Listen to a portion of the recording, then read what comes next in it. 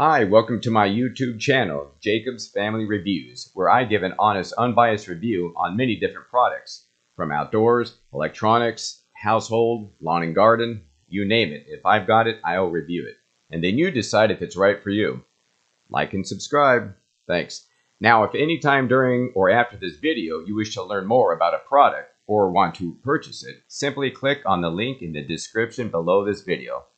When you click on that link, you'll be taken to my Amazon storefront video page like this. But don't worry about the video. You don't have to watch it again unless you want to.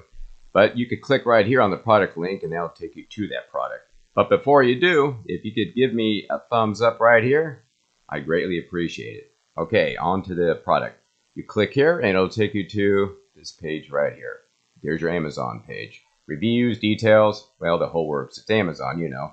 Okay, without further ado, on to the product review. Hey, Jacob's Thank Family you. Reviews.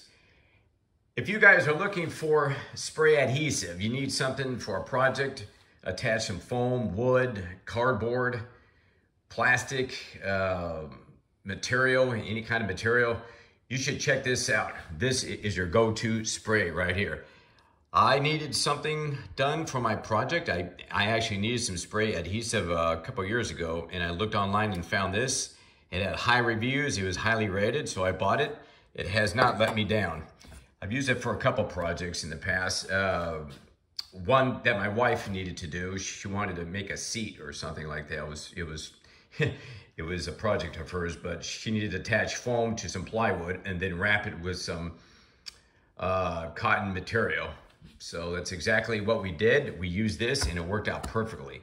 It dries fairly fast and it has a strong bond. So just be careful. When you sprayed, you could still move around your pieces, but after about a half an hour or so, it, it tends to not move anymore. But uh, definitely worth checking out. I highly recommend it. Thank you for watching.